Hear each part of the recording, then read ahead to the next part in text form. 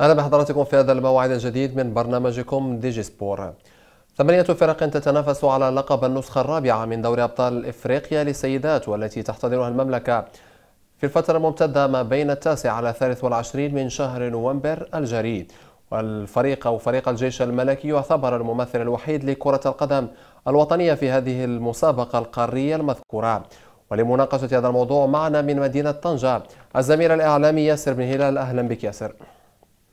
مرحبا بك أخي منصف. مرحبا بجميع متابعي برنامج Digi Sport أهلا بك. يعني كما قلت ياسر الجيش الملكي كممثل وحيد للكرة القدم النسوية الوطنية يدخل هذه المسابقة القارية وسط يعني مدارس كروية مرموقة على رأسها المدرسة الجنوب إفريقية والكونغولية من بوابتي تيبي مازيمبي. وكذلك سانداونز البداية بالمباراة الافتتاحية أمام نسور المدينة السنغالي. كيف تتوقع هذه المواجهة؟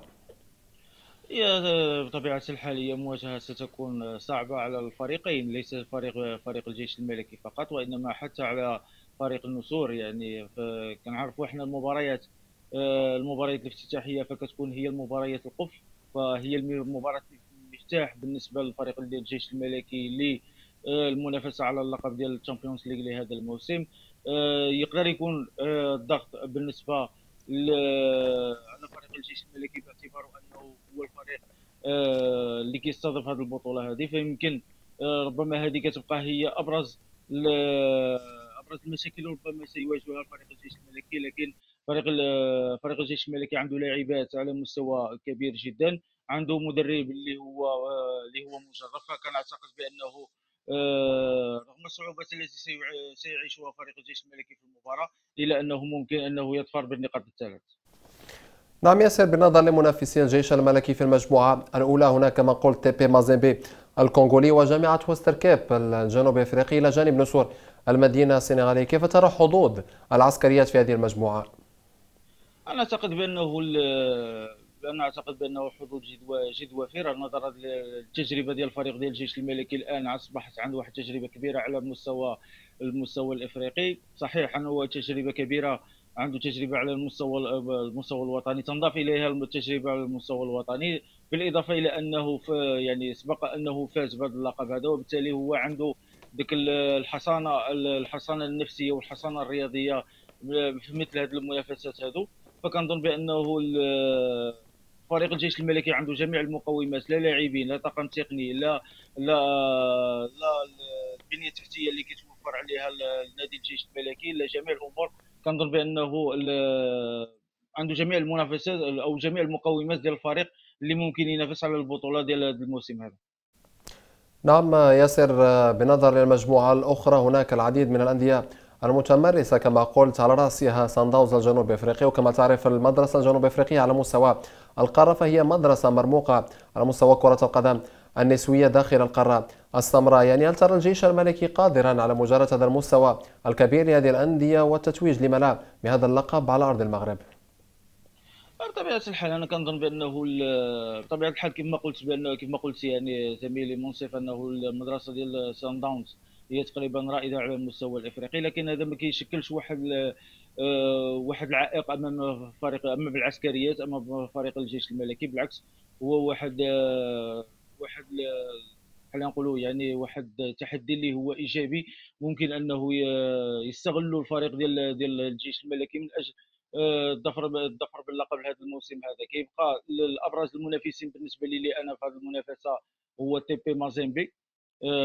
تي بي مازيمبي والمدرب ديالو يعني كتعرف الخبايا ديال كرة القدم المغربية. كذلك آه، سبق اشتغلت هنايا هنايا في المغرب. آه، بالنسبة للفريق ديال سان داونز فكنظن بأنه آه، كيبقى من يعني الرائدين ديال ديال المنافسات ديال كرة القدم على المستوى الإفريقي. لكن أنا كنظن بأنه المنافسة ديال على اللقب يمكن ما غاديش تخرج ما بين هذا الثلاثي ما بين الجيش الملكي وسان داونز وتيبي مازيمبي. لكن بكل المتمنيات بأنه إحنا كمغاربه كصحفيين كنتمنوا بأن الفريق الجيش الملكي هو عنده جميع المقومات ديال أنه يفوز بهذا اللقب هذا.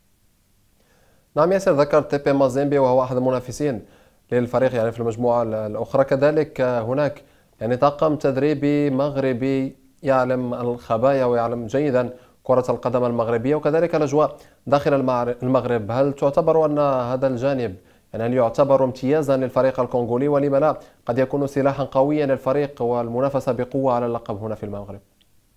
بطبيعة الحال لأنه كيكون لأنه أي منافسة ملي كتكون عارف أن الخيبي الحيثيات وكتعرف الظروف ديال ديال ديال المنافسة لا على مستوى الطقس لا على مستوى الأرضية ديال الملاعب لا على مستوى البنية التحتية en général يعني البنية التحتية بصفة عامة كتكون عندك واحد الدراية.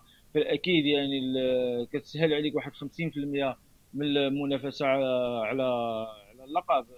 الفريق ديال تي بي مازيمبي كما قلت عنده طاقم تقني مغربي كيشتغل كيشتغل عارف بأنه الخبايا ديال المنافسات ديال المنافسات ديال كرة القدم المغربية عارف الملاعب عارف الطقس وبالتالي ربما هذا يقدر على الجانب ديال الاستعداد أنه يقدر يكون واحد الحافز واحد العامل مهم بالنسبة بالنسبة للفريق ديال تي بي مازيمبي.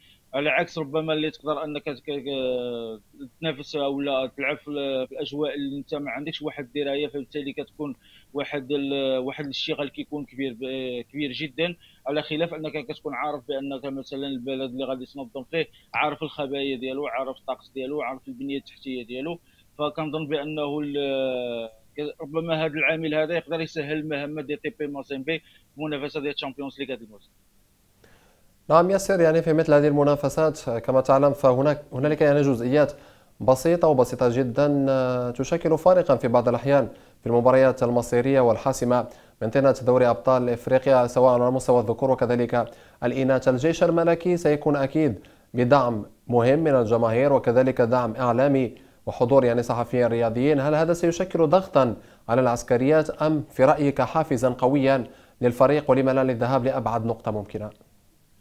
أه، ما كنظنش بأنه يقدر يكون واحد شكل يشكل واحد الضغط كبير لأنه هو أكيد يعني كيكون واحد الضغط على مستوى أنك أنت كتحمل المشعل ديال كرة القدم المغربية ولكن في نفس الوقت يقدر يكون أه، يقدر يكون حافز بالنسبة بالنسبة للاعبات خاصة أنه غادي يكون الحضور الجماهيري ديال فريق الجيش الملكي. حنا كنعرفوا بأن فريق الجيش الملكي هو الجماهير ديال فريق الجيش الملكي فهي عاشقة للفريق تتنقل معه بالآلاف على جميع ربوع المملكة وأيضا على مستوى القارة الإفريقية.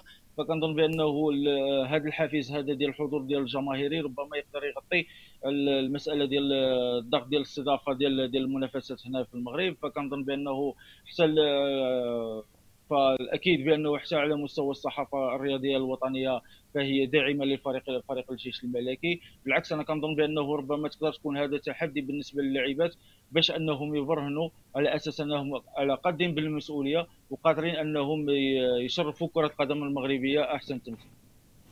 نعم ياسر ما تعليقك على أن المغرب أضحى؟ يعني قبلة لمختلف البطولات سواء في مختلف الأصناف المحلية القارية وكذلك العالمية وآخرها الآن يعني دوري أبطال إفريقيا للسيدات.